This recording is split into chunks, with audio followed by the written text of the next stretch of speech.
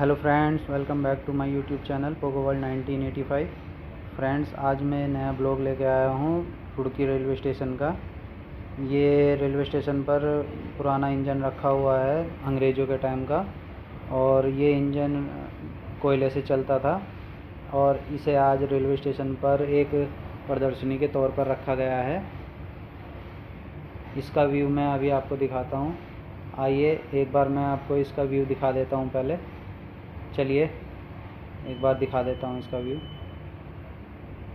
ये इस इंजन का व्यू है, देखिए दोस्तों, ये कितना बेहतरीन आज के टाइम में भी ये है. ये रेलवे स्टेशन रुड़की पर है, हरिद्वार में, और ये कोयले से चलता था. ये अंग्रेज़ों के टाइम पर बनाया गया इंजन था, जो आज यहाँ प्रदर्शनी के तौर पर रखा गया है. ये 170 ईयर पुराना इंजन है. मेरा ये ब्लॉग पसंद आया हो तो प्लीज़ मेरे चैनल को लाइक, शेयर, सब्सक्राइब करना ना भूलें। Thank you.